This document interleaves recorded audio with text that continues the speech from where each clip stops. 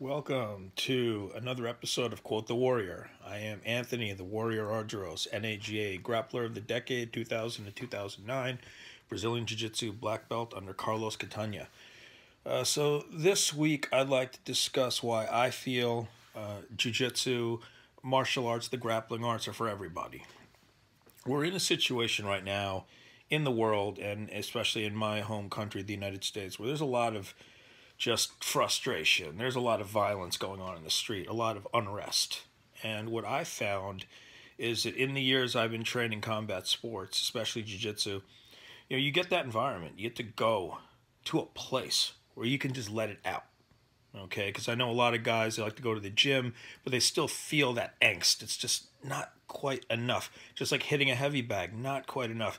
You need to be able to do something live against another human being to feel capable at the end of the day, that's what a lot of us get into martial art training, especially the rough and tumble grappling style of arts like jiu-jitsu, judo, catch wrestling, sambo, um, MMA. It's because we want to feel capable.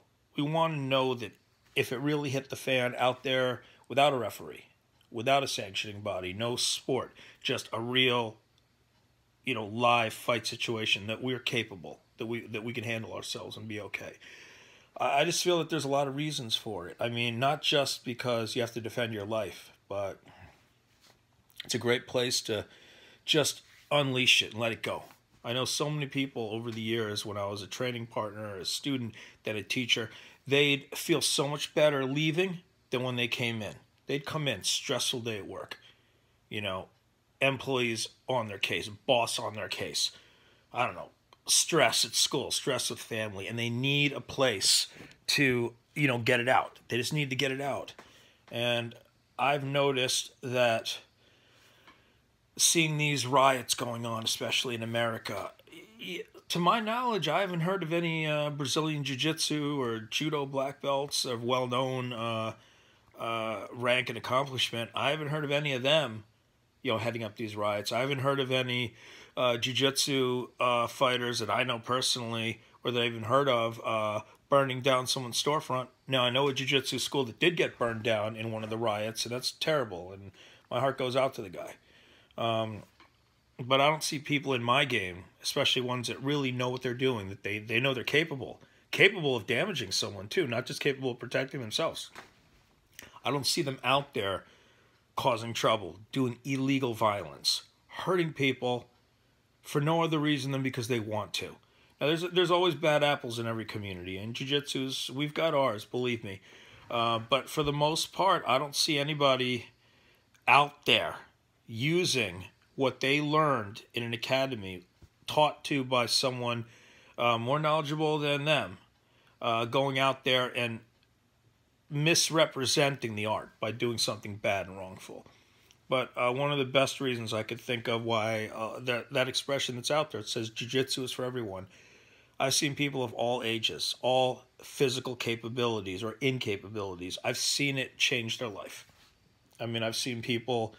It's a form of therapy for some people. It's an outlet. It's an outlet. It's a format for something. And whatever you need it to be your format, you can mold it to work for you.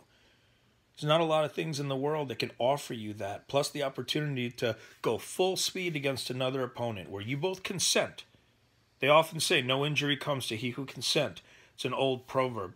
But the reality of it is, is you feel a lot better after. I don't remember ever leaving a jiu-jitsu class or a tournament after really rumbling hard with several people saying, boy, now I just feel like going out and beating someone up. Like I want to go fight some guy who doesn't know really how to fight back. It, just doesn't cross my mind. It's not something that I even think about, uh, especially after training. You know, especially when you do MMA training, when you're grappling and you're striking. You know you're capable. You don't want to go out and beat some guy up who's, you know, some I don't know, some drunk in a bar who uh, thinks that he's a tough guy and you know you are one. It's just it's just something that doesn't even enter my mind.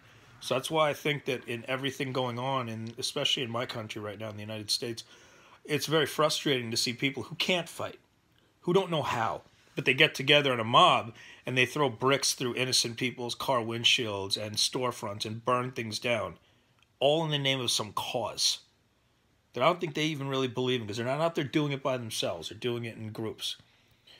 Uh, So I just feel that people would behave a lot better if they had uh, to go several times a week to a combat sports class, practice, get tired, get roughed up, rough somebody up, let it all out, unleash it.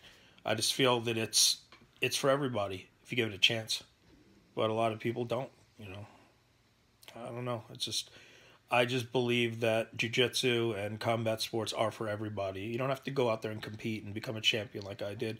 There, there's always a format. There is a platform for you specifically. It's up to you. It, it belongs to you once you learn it. It's how you use it that can define you. But a lot of people won't even try that one time to find out if it's for them. So that's just what I had to say about that. I'm a big believer. Jiu-jitsu, combat sports are for everybody. I say give it a try. Tough world we're in right now, but you don't have to make it any tougher. Uh, you know, I say give it a try and watch how it could change your life. It certainly changed mine over 20 years of being in this game. Okay, that's it for this session of Quote the Warrior. I will be back with another video next week. And remember, Jiu-Jitsu, combat sports, they are for everyone. Quote the Warrior.